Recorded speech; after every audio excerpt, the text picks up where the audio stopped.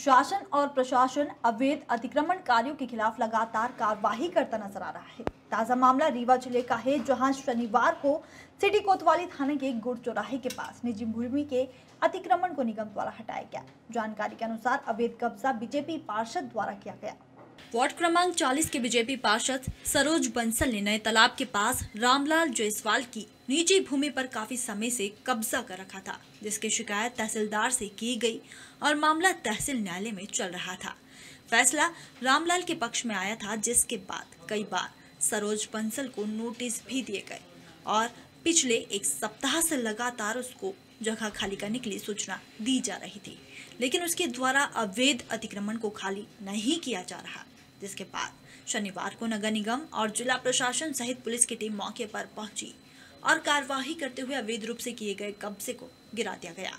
में अतिक्रमण हटाने की कार्यवाही की गई है। निजी पट्टे की ज़मीन है यहाँ पर छोटे जायसवाल की। आठ हज़ार रामलाल जायसवाल की। यहाँ पर 1975 उन्नीस सौ पचहत्तर से इनको आठ हज़ार स्क्वायर फीट का पट्टा प्राप्त है। उसी की ज़मीन पर यहाँ पर सरोज बंसल के द्वारा कब्जा कर लिया गया था घर बना लिया गया था, अस्थायी रूप से। उसी को लेकर के नजुल तहसीलदार न्यायालय में केस चल रहा था बेदखली का। बेदखली का आदेश भी जारी किया जा चुका है पूर्व में, और इनको सूचना भी दी जा चुकी कई बार। अभी पिछले एक हफ़्ते से हम लोग यहाँ पर आ रहे हैं और लगातार इनको सूचना दे रहे हैं हटाने की, परंतु इनके द्वारा हटाया नहीं जा रहा था। परंतु इनके द्वारा यहाँ पर आज गाली गलौज भी की गई है और पुलिस के महिला बल के ऊपर आक्रमण भी किया गया है चाकू के द्वारा।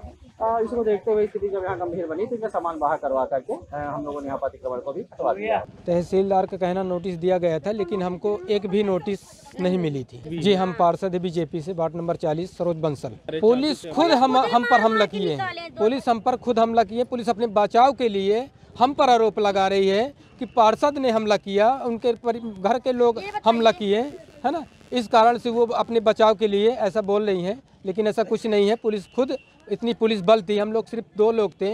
इतनी पुलिस बल थी छोटे छोटे बच्चे थे। इतनी पुलिस बल थी कि हम लोगों को वहाँ से घसीटते हुए, मारते हुए, लात घूसा के मतलब बौछार करते हुए बाहर निकाले हैं।